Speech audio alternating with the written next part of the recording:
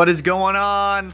And welcome back to the channel. So today, while we wait for the heads to come back for the 05 STI and that EJ25 over there, I wanted to go over the build of the EG33 since I have the short block back, which it still needs to be sent back down to Outfront to get that issue fixed. Um, no big deal, we'll get that taken care of. But while I have both of these motors on the stands, I want to go over the build on the EG33, covering what all is done to that short block, what all is done to the heads, because I know there's a lot of people out there who want to know just what the modification path for this is. And I cannot take credit for all of this. Huge shout out to Outfront for helping me with this build list on this EG33 because if it was just me, your boy would be like incredibly lost. Uh, yes, it is similar to an EJ, but it's still a completely different motor. Now on the left is our EG33, on the right is our EJ25. Now there's a lot of similarities between both of these motors, which is why I wanted to go with an EG33 over an EZ30 or an EZ36. Think of this EG33 as an EJ22T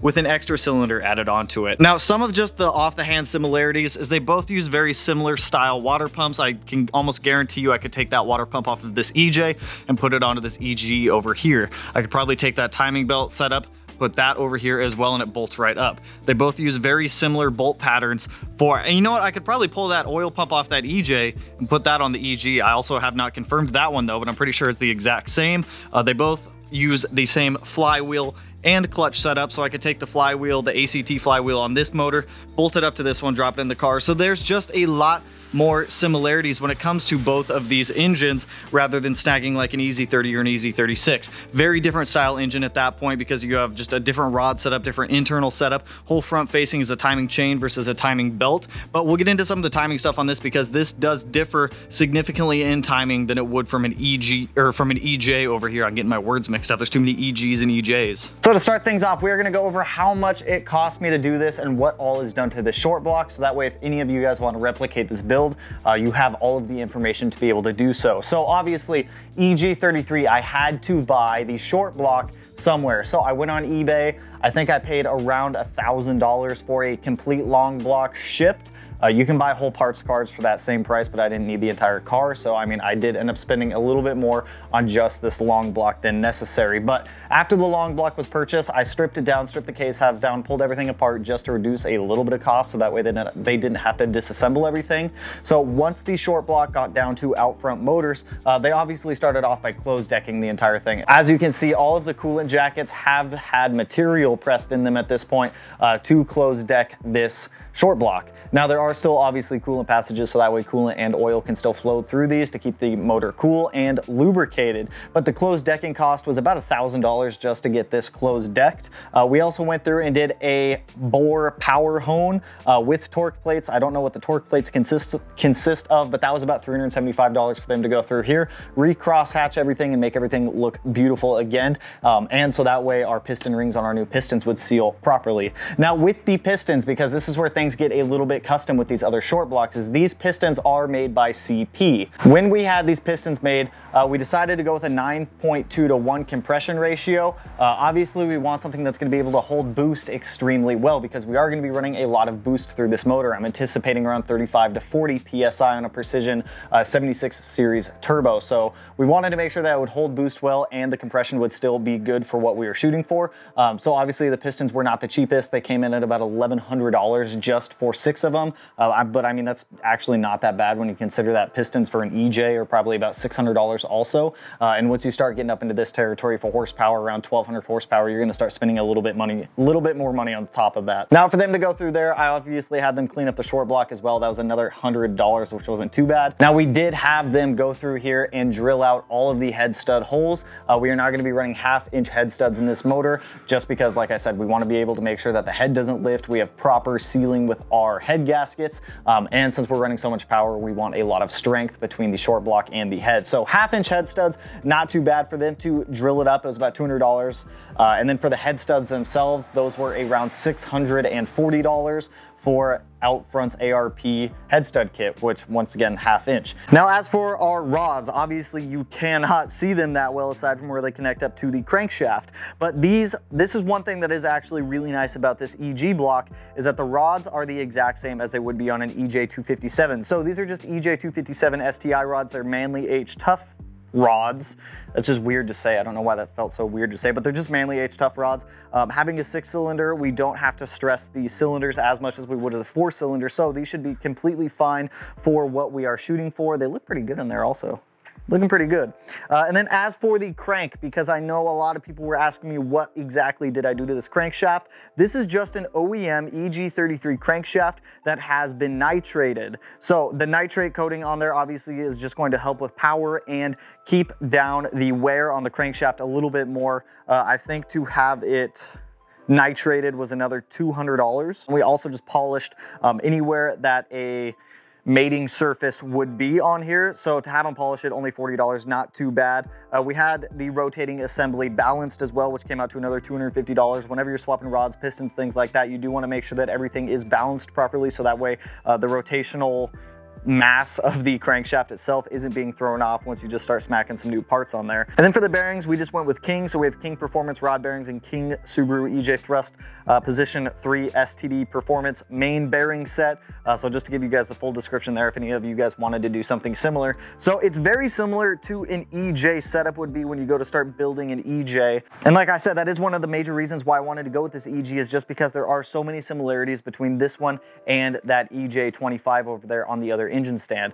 Short block, rated to about 1200 horsepower, should make some good sauce when the time comes to throw this thing in the car. Um, as you guys are aware down here, you can see right where the damage happened in shipping. So unfortunately, that is one of our motor mount areas. We have a motor mount here, here, and then the third one being right down there. And we just, it would stress the block too much to only have these front two motor mounts on there. Um, it would just put way too much stress back there that the continuation of this crack would just keep going through this case half. So Outfront is making it right. Um, they already are machining new case halves for us, so this one is going to have to be sent back down to Outfront. They'll just swap everything from this one over to the new case halves, and then we can start building this thing, getting the heads on there. But speaking of heads, let's go take a look at the heads for this thing. All right, guys, so let's take a look at the head. Now, before we even get into this, I am gonna start with the cams because I did not have Outfront do the cams.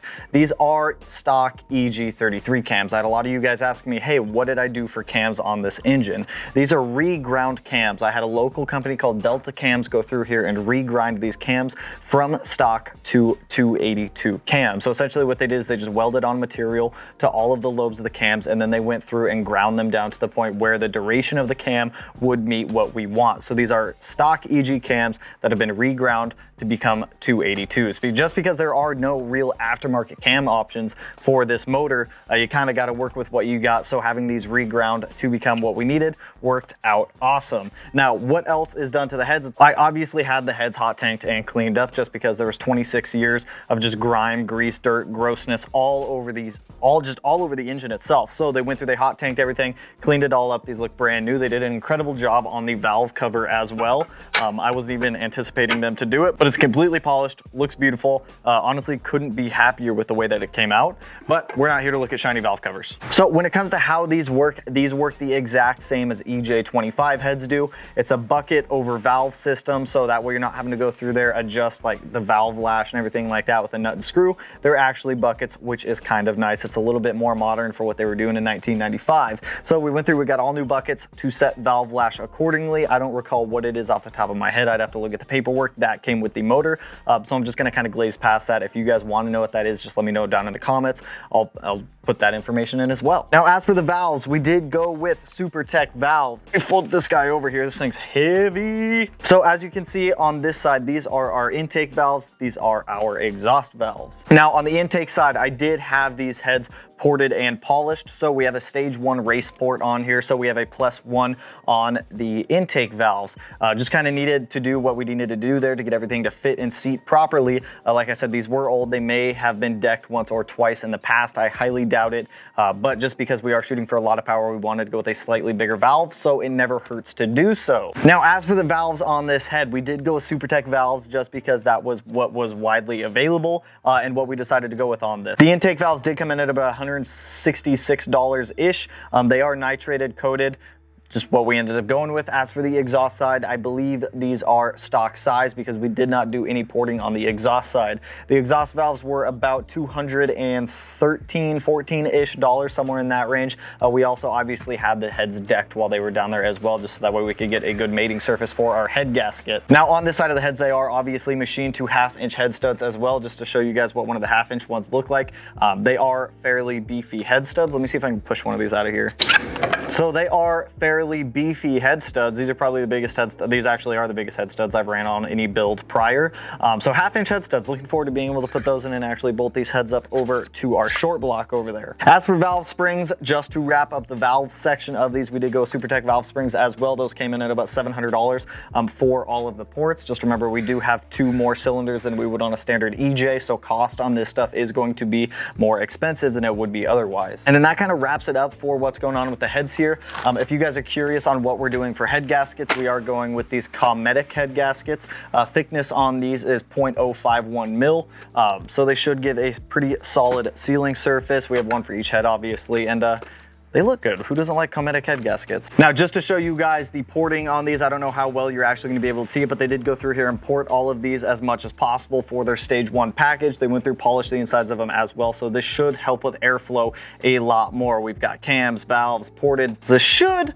give a lot of good free flowing air. Now something I do want to show you guys on these heads because it is very different than an EJ is that you only have one cam gear on these. Even though it's a dual overhead cam system, you only have one cam gear and it sits right here on the end of the exhaust snout. Now on the inside of the head right here, you do have two internal gears which controls timing on the engine. Uh, and the way you time it is there's a couple little dots on the inside there. I'm not 100% sure on how to time this yet. When the time comes when we start assembling this and we start getting timing set on this, I will walk you guys through it if any of you are interested in learning how to time an EG33, but uh, it's just a really different and weird setup than what we're used to in the past with EJs, uh, just because we normally have two cam gears on the outside of the engine, and on this one we only have one with the internal splined gear. One of these cams is also sprung as well, so when you go to disassemble these, you do need to make sure that the service screw is in the intake cam, uh, just so it doesn't become unsprung and then you're not gonna be able to fully reassemble these properly. So I think that about wraps it up for these. Now, for anyone who is curious on about how much this costs to build,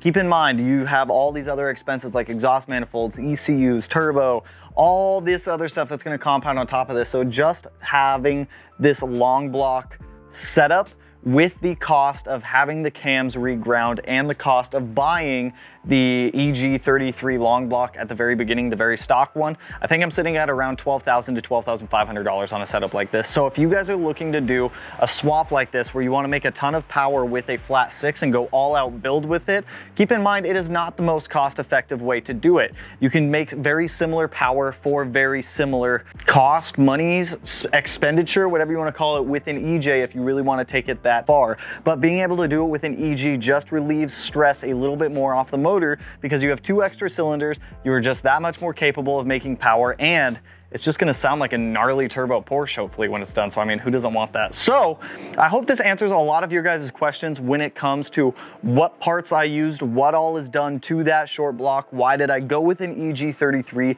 over an EZ30 or an EZ36. It's just the similarities between this EG and EJs, which I have a lot of experience with in the past, is just a little bit easier for me. This is my first big motor swap um, that I've ever done. So trying to keep some similarities between this new motor and the old one will just help out when it comes to doing the swap. So I think that's all I got for you guys on this one. If you guys are looking for a similar setup or build, feel free to hit up Outfront Motors. I believe they're located down in like, they're somewhere in like South, South California, somewhere down there. They're the only ones that I have found that will even touch building an EG33. They did do an amazing job. Uh, we are getting the damaged case half situation taken care of and I'm extremely excited to be able to get this one swapped out with the new one so that way we can actually start building this thing and getting it fitted up into our 17 STI out there that's just kind of sitting in the snow looking sad. So that's all I got for you guys. If you like the video, you know what to do. Go ahead, hit that like button, turn it black, blue, green, yellow, purple, silver, uh, magenta, cyan, aqua, tangerine, yellow, whatever color it turns for you. And if you're not already subscribed to the channel, hit your boy up because you don't want to miss either this EJ or that EG making some power because this blob eye behind me is about to go here to the dyno in a couple of weeks, assuming that we don't have any more problems, but we swapped out every single part on the motor, so we shouldn't have any more problems. It... Anyways, if you're not already subscribed, hit the subscribe button. And with that, I'll catch you guys in the next one. Peace out, homies.